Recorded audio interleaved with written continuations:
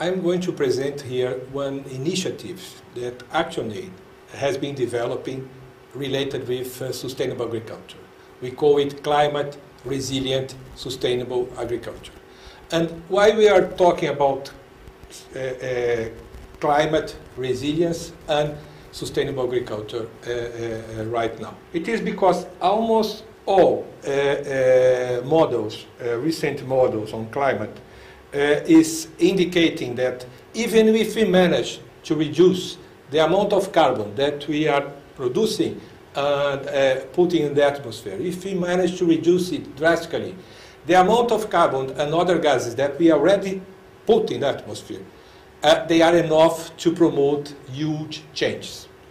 And as a consequence of it, we can expect an increase on the occur occurrence and the severity of uh, uh, some uh, several climate events like storms, droughts, and we can also expect decrease in the annual rainfall, rainfall and hurricanes and many other things. the consequence for us of this kind of increasing in the occurrence, and severity of this kind of uh, uh, events uh, is that it is going to be more normal, more common, and more also severe. Uh, things like uh, floods, landslides, uh, we can expect the uh, increase in crop failure. We, we are already facing it, but we can expect that the situation is going to be even worse. Uh, we are going to have more uncertainties about what, what and when to plant we can have shortage of food, food insecurity can increase. Uh, the models are showing also that in some parts of the world, we may have something like the reduction in half of the production of rain-fed agriculture. Smallholder farmers, they are used to deal with changing weather. Uh, these kind of problems, uh, floods and droughts, uh, hurricanes. It, it, these kind of problems are, are not uh, new for farmers. Farmers have been dealing with it for centuries, and they have, uh, on this process of dealing with the, the, the, the challenges that uh, uh, the, the weather and the climate pose to them, they are being able to develop a lot of uh, several crop, coping mechanisms, very nice ones, interesting ones, and they have managed to survive even in the, in the uh, uh changing uh, uh, weather. smallholder farmers around the world, they are already suffering with climate change and with this growing unpredictability of the, the, the climate. In many places in the world, they say that the normal signs that they use uh, uh, to, to decide when they are going to plant, when they are going to harvest, and many other things, they are not working anymore. Uh, well, farmers have been struggling uh, with climate change for, for centuries. This is, well, these kind of problems are not new from them, and they have been in their day by day struggle with the changing uh, uh, weather. They have been able to develop several strategies to cope with it. Uh, climate change, uh, however, it is going to put uh, problems that we, are, we, we never faced, uh, faced before. It is going to be in this, with a severity and magnitude that we never had before. Because of that, we are discussing about uh, climate change and agriculture because if we want to continue to produce food and if we want to continue to, to, to, to, to produce food, is, is, that, smallholder farmers can continue to produce food, we need to incorporate in our day by day this discussion on the whole issue of climate change. Uh, in the, the main issues related with climate change uh, and agriculture involves mitigation and adaptation. By mitigation, we mean all initiatives or activities that can remove carbon and other gases related with greenhouse uh, effect from the atmosphere or initiatives that we can do to reduce the production of carbon and other gases. We call it mitigation. And adaptation uh, is related with all initiatives or activities that we can do to adapt to climate change. It's clear now that the weather is changing, the climate is changing, and we need to adapt. Uh, we need to be able to consider in our day-by-day -day work the impacts of climate change.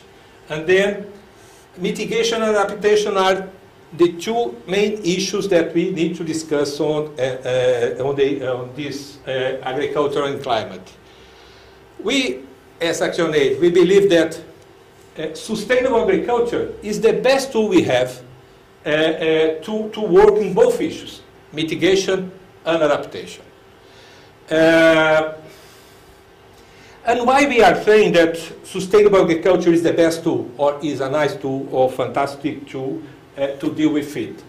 Uh, there are several uh, uh, uh reasons to do, to do it. And there are several uh, initiatives and experiments that show, to it, show it to us also that the importance of sustainable agriculture in the context of climate change. We put here three examples, but there are several others. The first one is related with one hurricane uh, that reached uh, Central America uh, in the end of uh, the 90s, uh, last century. And it was really a serious uh, hurricane. Mitch is the name of it, Uh, was the name of it.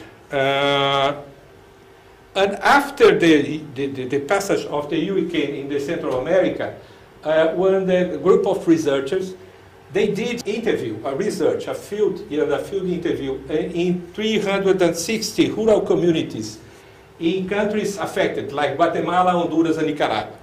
And they concluded that people that were using a sustainable agriculture approach, uh, people that were uh, using a more diversified production system with trees, uh, they suffered less with the hurricane and they recover faster than the ones that were using uh, uh, uh, conventional agriculture.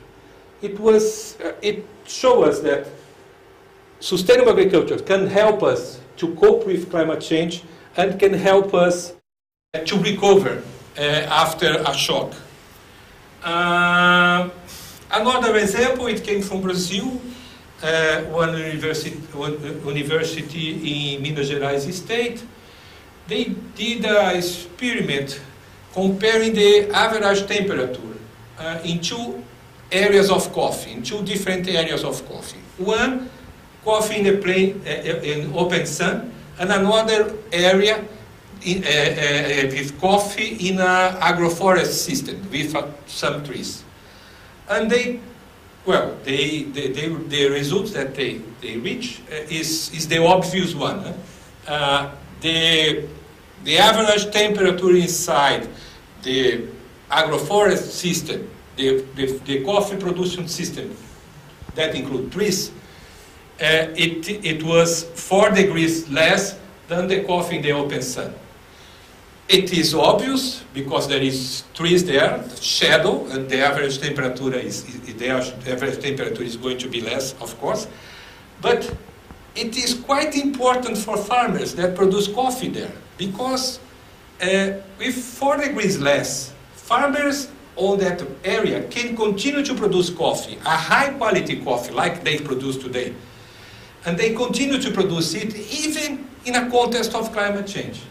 And then uh, uh, the incorporation of trees, the, the, the, the, design and implementation of agroforest system can help them to continue to produce in the same way they produce today. Another thing that also came uh, from Brazil is related with multi-cropping. Multi-cropping is one of the, the, uh, uh, alternatives that we have uh, and we use in several times on sustainable agriculture. It means production of several uh, uh, plants, different plants, or incorporation, or introduction of several plants in one same field at the same moment. Uh, it used better the soil, and farmers from the semi-arid of Brazil, from semi-arid of Minas Gerais, they say that multi-cropping is, uh, uh, works, works for them like one insurance against bad weather. Even in a context of serious drought or uh, storm, uh, a multi-cropping uh, can, uh, can ensure to them that every time that they go to the field, they have something to harvest. And it, in a context of climate change and thinking about food security, it's quite important to have this, this kind of uh, uh, uh outcome, to have this possibility to harvest something uh, even in a context of very, very, very uh, difficult problems related with the climate. It's also important to say something about sustainable agriculture because many people think that when we talk about low input agriculture or sustainable agriculture, it means also that sustainable agriculture produces less than the conventional systems. Uh, they, they, they joke that uh, low uh, input agriculture means low output, or it means low uh, production. And this is not true. and we have several examples of it that sustainable agriculture uh, systems can produce uh, the same amount of conventional uh, systems or even more. more. and we, we included here one one thing that we, we took from the uh, one report, uh, this international assessment of agricultural knowledge, science, and technology for development. Uh, it was produced by a, gr a group of 400 scientists that during three years they studied the alternatives that we have related with uh, uh, production, agricultural production, and and they conclude the same thing that the reality and the, the, our field uh, uh, work is showing to us. That farmers adopting agroecological methods are producing equal and sometimes substantially uh, uh, uh, increased yield per unit compared with those that, those that are using conventional methods. Climate resilient sustainable agriculture is one initiative that ActionAid has been developed, uh, but based on the concepts and practice of sustainable agriculture. Uh, it is one effort of ActionAid to incorporate in our day-by-day -day work the new challenges posed by climate change and its impacts on poor people's life. Uh, actually, it is proposing climate resilient sustainable agriculture as a tool to increase the preparedness of women and men smallholder farmers to face the impacts of climate change. By preparedness, we mean that we need to increase our capacity to deal with, with these impacts, some that we know and some that we don't know yet. Uh, climate resilient sustainable agriculture is based on the identification of the main risks that the community, local community are facing or may face in the future, and uh, on the design and implementation of specific, a site-specific adaptation strategies, aiming to reduce the vulnerabilities and increase the, the resistance and resilience of smallholder production systems. By resilience, you mean uh, uh, resilience uh, means the capacity of a system to recover after shock. And by, by increasing resistance and resilience of smallholder production systems, we mean we want a system that is less affected by the external shocks like drought, like hurricanes, like floods. And if, uh, uh, when these kind of things, uh, problems appears, it can resist more and be more resilient means recover fast and recover easily with less damage. Uh, uh, the systems will recover with less damage.